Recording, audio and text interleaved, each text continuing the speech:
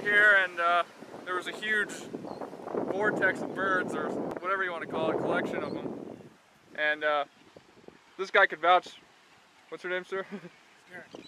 Where is it? Derek. Derek, Mike. What'd you, what'd you see? Um, guy who knew a lot more about birds was here with his big tel uh, scope, and he said they're almost all pink-footed shearwaters. All these little ones are you still see masses And I figure there might got to be 3,000 at least till maybe as many as 10,000.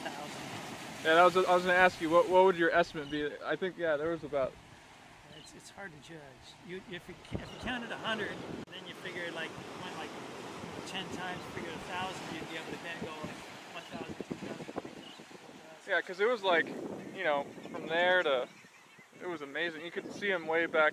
Yeah, there's a whole bunch of them taking off. And